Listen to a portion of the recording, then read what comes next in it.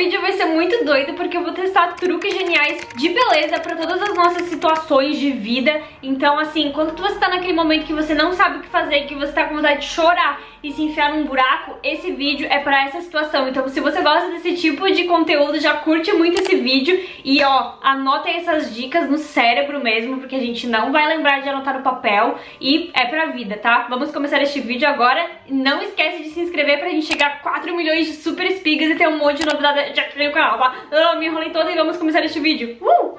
Ok, a gente tá no banheiro escovando os nossos dentes até que a gente...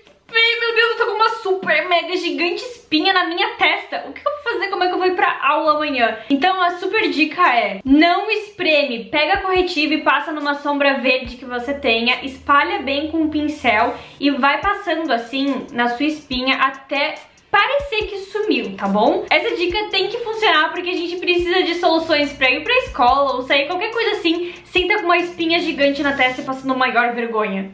Gente, eu tenho essa espinha aqui que não é no meio da testa, mas ok. Pode ser essa daqui que tá bem vermelha. Olha só, vai dar pra gente testar. Vou passar com esse meu pincel aqui, esse corretivo e a sombra verde eu não tenho exatamente igual dela, mas eu acho que vai servir. Porque essa minha sombra aqui, ó, ela é bem verde. Primeiro eu vou botar o corretivo aqui. Aí agora eu pego a sombra com o pincel. Ok. Peguei bastante, como vocês podem ver. E agora vou dar as batidinhas pra misturar. Meu Deus, acho que eu passei muito. Gente, não era bem esse resultado que a gente esperava, mas acho que é porque eu não misturei bem no potinho. Então é no meu rosto que eu tô misturando. Eu acho que não dá muito certo. Acho que é mais fácil comprar aquele corretivo que já vai... Eu não falar já vem verde e claro que você pode não ter, mas acho que essa dica não funciona muito não, sabe? Você acabou de receber um presente daquele suéter super comprido que parece de vovó dos anos 80 e você pensa, meu Deus, quando que as gurias ainda usam isso? Tipo, faz muito tempo que a gente usa cropped, não é mesmo? Aí você tem a super ideia de transformar numa coisa muito mais interessante. Você pega esse suéter, corta meio que no meio e daí virou embaixo um top cropped e por cima você ainda tem um cardiganzinho, tipo um casaquinho mais cropped mesmo, que fica super fashion e combina com calça jeans, short, saia, com tudo que você quiser usar e vai ficar muito mais fashion. Bom, você acabou de colocar aquele tênis e você não consegue amarrar direito, ele sempre tá desamarrando. Aí a dica é você pegar e fazer uma amarração diferente.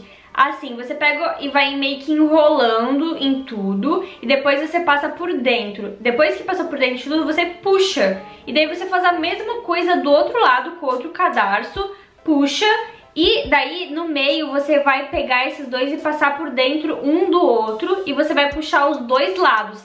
Parece que fica muito mais preso e não fica caindo toda hora e até parece ficar um pouco bonitinho assim. Vamos testar pra ver se a gente consegue fazer ou se é super complicado e nem dá certo. Eu vou tentar fazer essa dica com o meu All Star, vamos ver se funciona. O meu cadarço, como vocês podem ver, é bem diferente, então vamos ver se funciona com esse tipo de cadarço também ou não. Ok, então vamos começar pegando um cadarço aqui da lateral, tá? Deixa ele reto ok? Agora a gente pega essa parte e vai girando igual eles fizeram no vídeo. Essa pontinha aqui, tá vendo? É pra gente enfiar nessas coisas que a gente enrolou. Tenta enfiar do seu jeito e passar por esse buraquinho aqui. Vai ficar tipo essas bolotinhas aqui. Mas aí, gente, olha só, vai dando mais uma puxada, tá bom? Porque isso meio que vai se movendo, tá vendo? Ok, agora eu vou fazer do outro lado. Gente, esse ladinho tá feito, esse daqui também. Agora a gente tenta passar dentro do outro vai passando essa pontinha. Olha, eu tô puxando ela aqui, tá vendo? Agora do outro lado, que tá meio complicado, eu tô colocando aqui. Passou! Agora é só puxar. Puxando assim, gente, fica muito apertado. Tipo, não tá passando mais do que isso, tipo... Ficou assim. Eu não achei muito fácil de fazer. Deixa nos comentários se você tentar e se você conseguir. Tipo, eu não consegui deixar perfeito. Vou testar com esse meu outro tênis aqui pra ver se o problema foi o cadarço. Esse daqui é bem mais gordinho e é como no do vídeo. Vamos ver se funciona. A gente fiz dos dois lados, como vocês podem ver. Aqui no vídeo fala pra puxar. Então vamos ir puxando. Olha, galera, acho que não dá, porque não vai até o final, daí fica um negócio estranho e feio. Ou o que pode acontecer é que eu não sei fazer e é isso. Daí por eu não saber fazer, mas eu testei em dois cadastros, não era pra ter dado certo. Então acho que essa dica não é tão boa quanto parece ser. Se você também acha que não é tão boa e você testou, deixa nos comentários. E se você testou e deu certo, você é um gênio. Você tá na escola e você recebe uma mensagem da sua mãe, vamos se encontrar depois da aula? Tipo pra almoçar juntas, e daí você sai da sua cadeira e você vê, meu Deus, rasgou a minha meia calça. Mas ainda bem que a gente, garotas, somos prevenidas e temos sempre um esmalte transparente no nosso estojo pra, né, quando precisar recolher, tocar, hidratar as unhas, aí você passa no buraquinho da sua leg e assim, amiga, o buraco não some, mas pelo menos ele não vai ficar maior. Essa dica realmente funciona e quis deixar aqui nesse vídeo pra vocês também saberem, pra, que, pra qual menina ainda não sabe, e poder começar a usar. Você tá tomando café porque você tá fazendo alguma tarefa e você derruba tudo na sua blusa. Aí sua amiga tem uma super grande ideia de fazer o contorno com uma canetinha preta em todas as gotinhas que derramou na sua camiseta. E fica basicamente que um mapa na sua camiseta que você ainda pode escrever Coffee Island pra ficar bem chique, tipo Ilha do Café. É uma ótima ideia pra reaproveitar roupas que talvez fiquem manchadas pra sempre ou que você não quer, né, tipo, perder seu tempo lavando, tipo eu odeio lavar roupa. Gente, esse eu achei bem legal. A gente vai precisar de uma camiseta branca, como eu já tenho várias vezes e mostrei em vários vídeos de uma caneta depois pra fazer, né, uma caneta permanente pra fazer o desenho em volta do café. E também de café. Tá, tem café aqui que eu não terminei de tomar. Então vamos trocar de roupa. Uh! Tcharam! Coloquei do lado avesso mesmo, porque eu cortei em outro vídeo, mas é o que a gente precisa. É a parte da frente pra ver se vocês conseguem fazer caso vocês sujem a caneca de vocês, porque vocês estão tomando um café muito quente, daí, tipo, de repente você tá tomando, tá? Olha só, pode acontecer. Hum. Meu Deus! Como que eu fiz isso comigo mesma? Eu não sei tomar o café?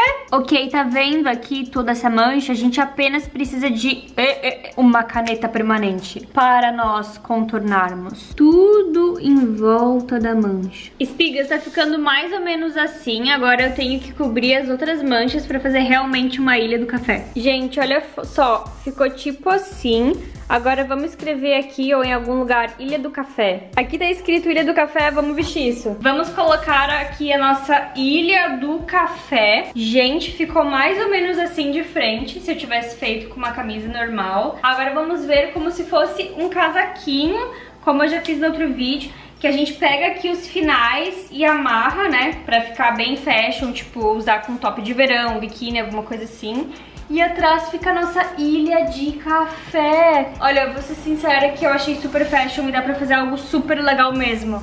Não vamos mais jogar fora nossas roupas, vamos refazê-las, customizá-las, enfim, tem uma palavra pronta pra isso, é customizá-las. Você tá super acordando cedo, 7h55, só que você tá com uma cara assim muito horrível, porque na noite anterior você foi pra uma festa. Aí a dica é, vai na geladeira e pega uma água gelada, uma garrafinha de água gelada e põe dentro de uma vasilha de vidro. Aí você adiciona também alguns cubos de gelo da sua geladeira ou do congelador, tem geladeiras que fazem o próprio cubo de gelo, tá? É a minha próxima aquisição. Aí você põe o seu rosto dentro ali, tenta não morrer, tá? Segura a sua respiração por um tempo, o máximo que você puder, porque parece que água gelada é super bom pra pele, assim, deixa ela bem mais saudável e é porque fecha todos os poros. Aí você fica com uma aparência muito mais bonita e glow, assim, brilhante, saudável, ótimo pra se maquiar depois e ir pra escola arrasando, ou pra faculdade, ou pra qualquer lugar que você for sair, amiga. Até pra ficar em casa bonita, tirar uma selfie, sei lá, qualquer coisa.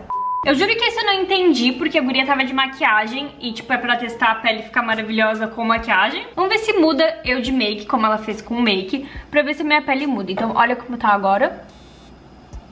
Pra gente reparar se muda. Já tô aqui com a vasilha de vidro e agora água na geladeira. E aqui no congelador vamos pegar cubinhos de gelo. Vamos pôr a água enche tudo aí. E agora vamos colocar os cubos de gelo. Ai, meu Deus, tá voando ar por tudo. Agora, no caso, é pra eu colocar o meu rosto aqui dentro. Vamos ver se eu vou sobreviver? Não sei.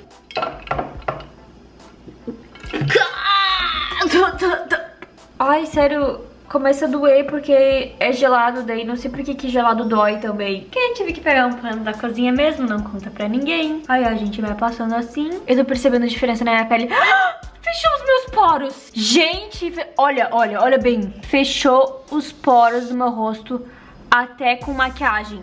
Essa dica super funciona, faz na sua até sem maquiagem e depois começa a maquiar. Agora eu entendi porque uma guria, tipo, ela pegava pedra de gelo, claro, aqui com um papel tipo de guardanapo, sabe? E ela começava a passar assim todo o rosto dela pra rotina dela de make, porque realmente fecha, tipo, todos os buraquinhos do, do, seu rosto e fica, tipo, perfeito pra se maquiar antes. Ou, tipo, uma rotina de beleza. Não sei por que, que gelado faz bem pra pele, tá? Isso é muito estranho. A pele fica muito melhor. Desculpa, mas eu vou ficar aqui passando gelo no meu rosto, tá bom? Deixa nos comentários se você não achou essa dica incrível, apesar de ser gelada e dolorida. Deixa nos comentários qual truque de beleza que realmente você vai usar e que você amou e agora vai virar o seu queridinho. Também não esquece de se inscrever no canal pra gente chegar a 4 milhões de super espigas e me segue no Instagram pra gente saber o que, que tá acontecendo na minha vida, todo mundo aqui, né, pra você entrar na família espiga. O super beijo de hoje do Instagram é pra Lívia Martins de Capivari de Baixo, Santa Catarina. Um super beijo e assista os últimos vídeos aqui, aqui, aqui. Tchau!